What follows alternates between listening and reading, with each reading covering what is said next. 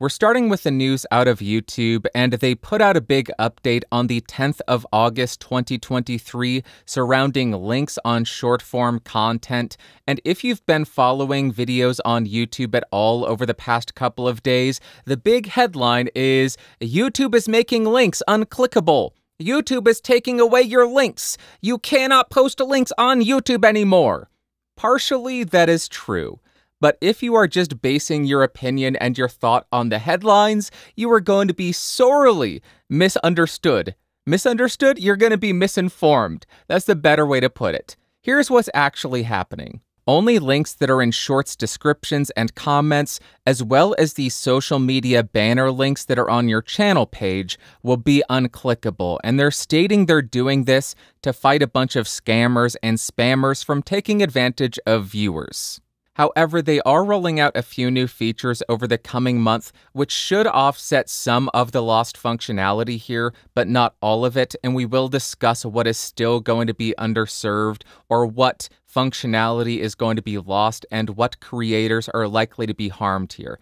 But the first new feature is prominent clickable links on the channel page. This rolls out on the 23rd of August 2023, and it seems to me to completely replace the prior social media clickable link feature. I really don't understand what's different here, Perhaps they're requiring a little bit more verification for links to be in the prominent clickable links section, but you shouldn't really be losing any kind of functionality here. The second one is on shorts. They're allowing you to officially link a short to other content on YouTube. The way that I understand this working is up on screen while a short is playing, there will be a link to another video on YouTube. So you could link to another one of your shorts to create a longer view session. You could create a link to one of your long form videos to try to convert that short viewer into a subscriber. You could do any number of things, and I imagine this will be a lot more effective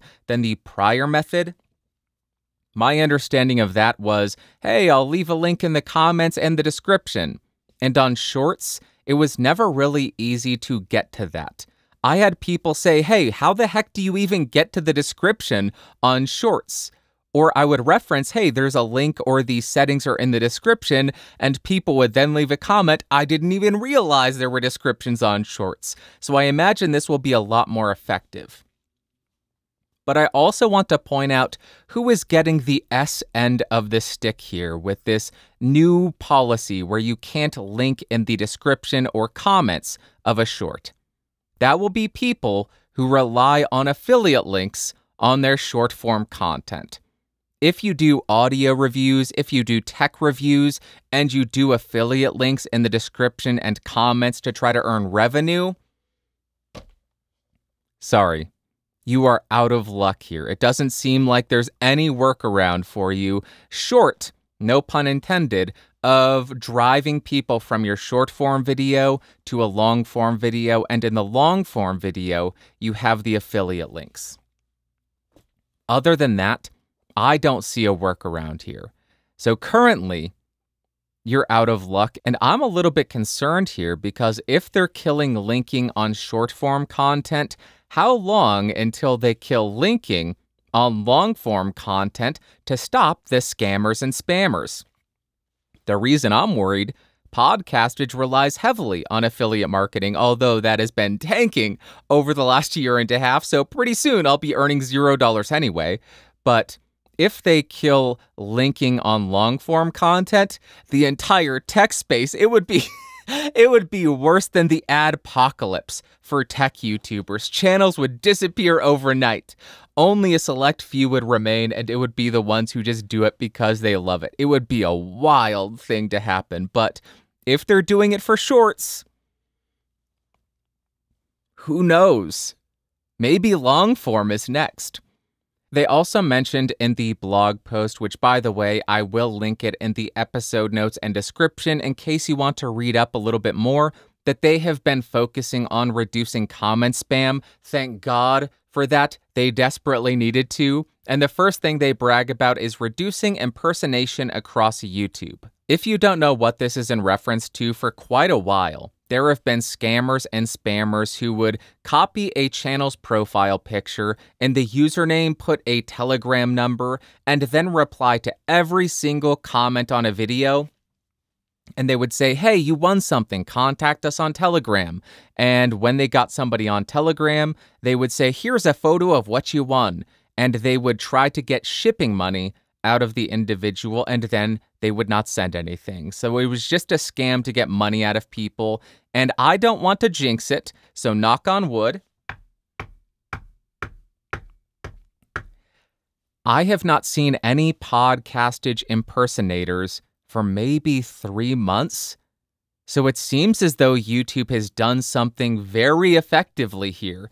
I am going to do this because I believe in giving props when it is due.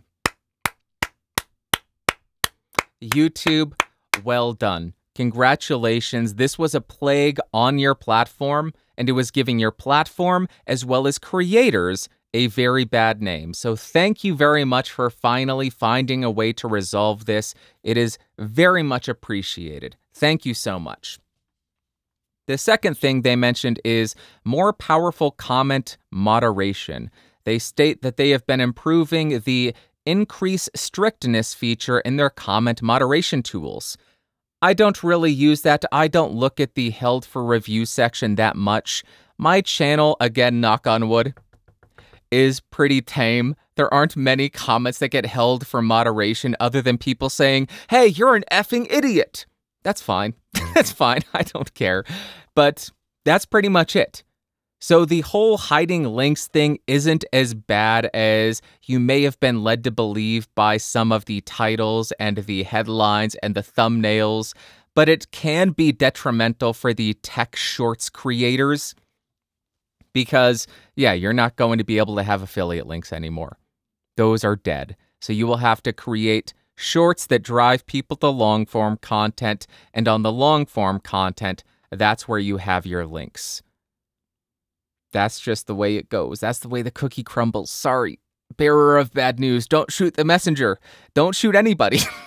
I think that's a good I think that's a good thing. I think that's a good message to end on. Don't shoot anybody. Okay. Goodness gracious. How do we get there? Okay.